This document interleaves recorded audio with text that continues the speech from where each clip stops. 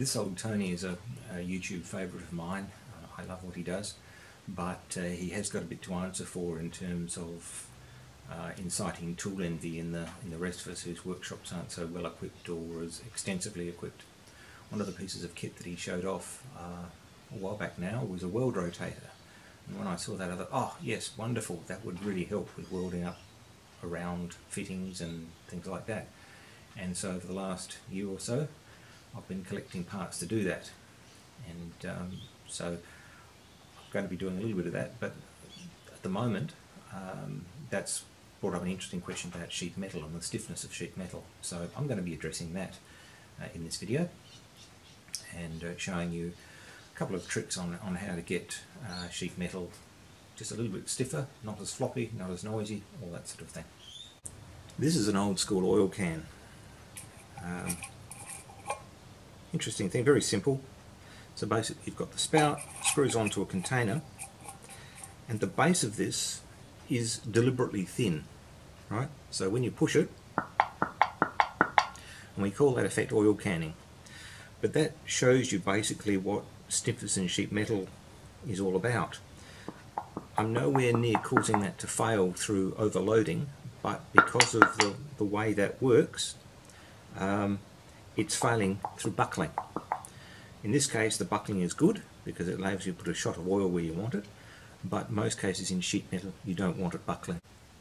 One of the things I need for my weld rotator is a nice stiff base plate.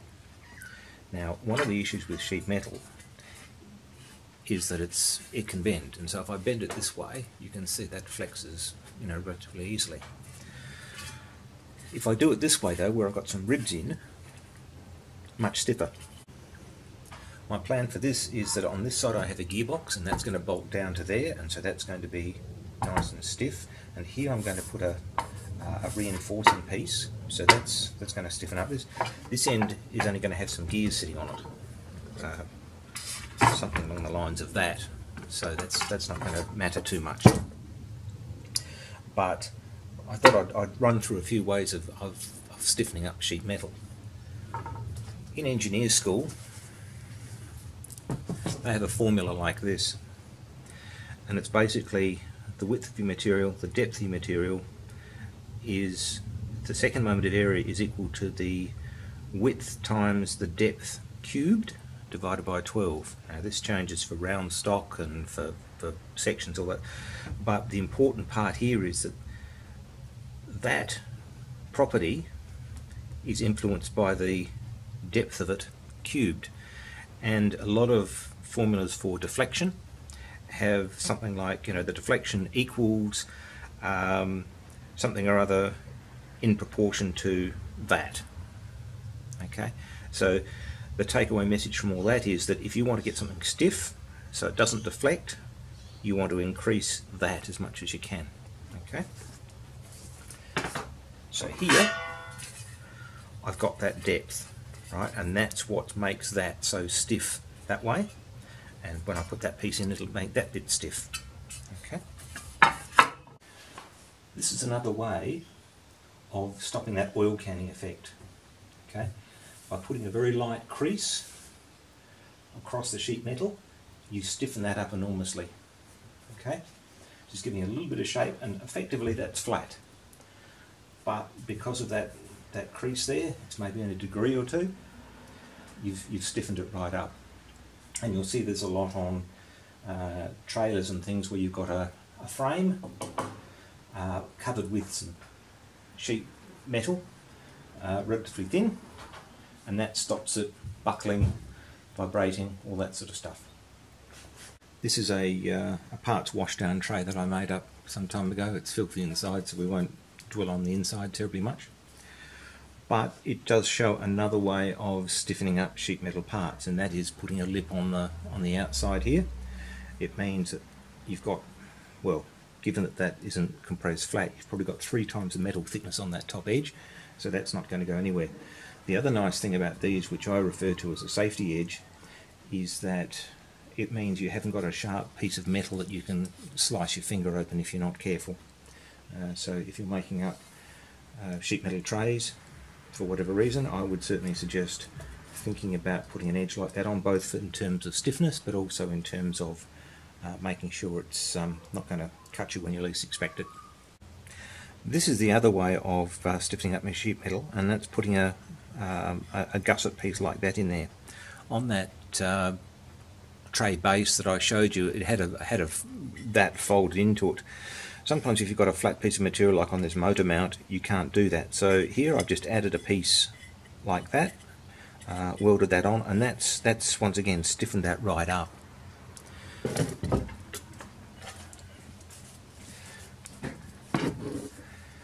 Making something like that uh, on a folding brake is difficult because to get the folds in there you've actually got to have the leaf of the of the, the folder uh, where there's there's metal or there's going to be metal.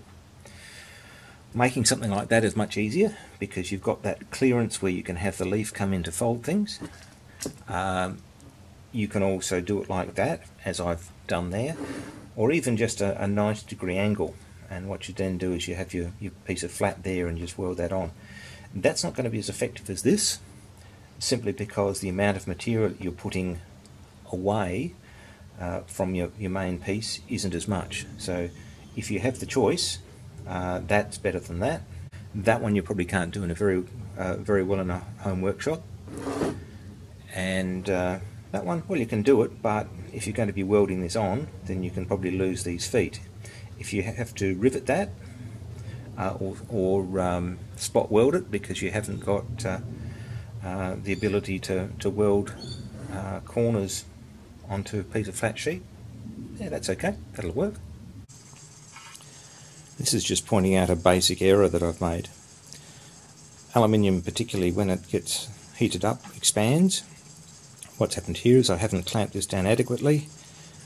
I've started my weld here. This bottom piece of sheet metal has heated up, pushed away from the, uh, the gap. So I'm going to have to grind that out now and restart. But just something to bear in mind when welding is heat.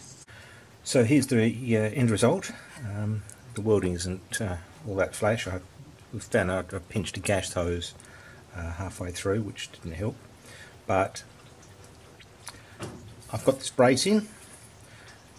To do that I welded there first and then held that down and put some tacks in.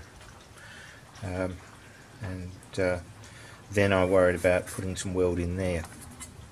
And the reason for that is simply that when weld uh, is hot and then cools down to room temperature, it contracts. And so if I'd done this weld and then that weld, it'd tend to pull the whole thing up. So when you know, it's one thing to, to say yes I can I can stiffen sheet metal by putting a brace in, but you've also got to think about if you're going to weld it, uh, where the heat's going to go.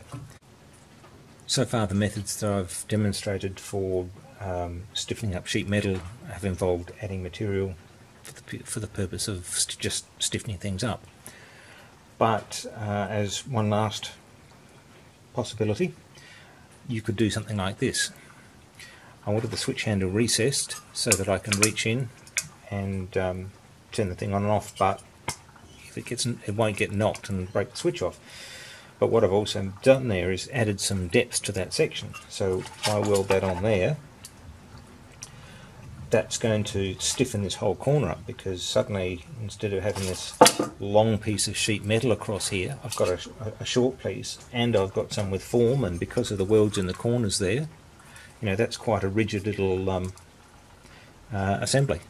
So you know that's another possibility for uh, stiffening up your sheet metal is just to put some um, features in there which take advantage of sheet metal and uh, you know, give it a bit of bit of depth, take a little bit of the uh, the flex out.